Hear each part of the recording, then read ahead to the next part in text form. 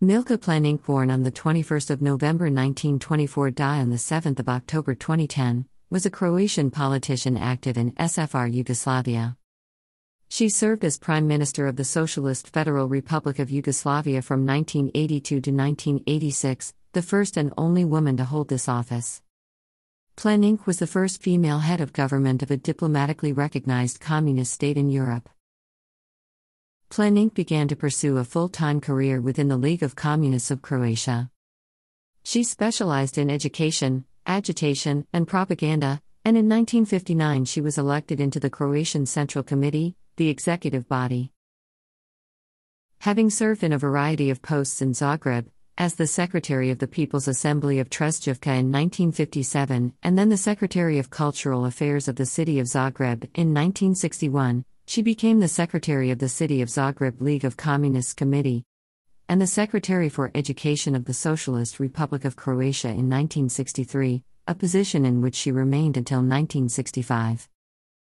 Greater party acknowledgement did not come until 1966 when she was elected into the Presidium of the League of Communists of Croatia, LCC, and then to the Executive Committee of the LCC in 1968. She served as the president of the Assembly of the Socialist Republic of Croatia 1967 to 1971. After the events of Croatian Spring, the leadership of LCC was removed, and Planinc became president of the Central Committee in 1971. She made the decision to arrest Franjo Tuđman, Marko Veselica, Dražen Budiša, Šime Đodan, and Vlado Gotovac, among others, who had all participated in the Croatian Spring. She remained the leader of the League of Communists of Croatia until 1982. When Tito died in 1980, he left a plan for a rotation of eight leaders, with a leader coming from each federal unit in turn. On April 29, 1982, the Federal Conference of the Socialist Alliance of the Working People of Yugoslavia approved a list of ministers submitted by Planinc, and on May 15, 1982, a joint session of the National Assembly's two houses named her head of the Federal Executive Council, thus, she became Prime Minister. She became the first woman to occupy such a high post in the country's 64 year history. Planinc had a new governmental body, the Federal Executive Committee, and it consisted of 29 members. All of the members of this committee were new, except for five that were members of the old committee. He would serve as the president of the Federal Executive Council, Prime Minister, of Yugoslavia, a post equivalent to Prime Minister, between 1982 and 1986. Her mandate as Prime Minister was remembered as the times when the government finally decided to regulate external debt of SFR Yugoslavia and to start to pay it back. In order to achieve necessary means, her cabinet implemented restrictive economic measures for a few years.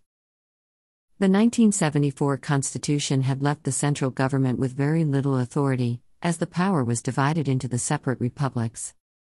Planinc tried to refocus the central government and gain international alliances with visits to Britain, the United States, and Moscow. Though her visits to Washington gave her promises of economic support, her visit to Moscow was said to be with nothing lost and nothing gained. Planinc offered her resignation in October 1985, but this was not accepted. On February 12, 1986, Planinc's government submitted a request to the International Monetary Fund for advanced surveillance. The request was approved a month later. Her term ended in May 1986, and before long she became a member of the LCY Central Committee. Later life Planinc spent the rest of her time living through Yugoslav wars with the collapse of communism in Europe. In 1993, her husband died, and in 1994 her son Zoran committed suicide. From the late 1990s until her death, Planinc was wheelchair bound and rarely left her home. She resided in Zagreb until her death on October 7, 2010, aged 85.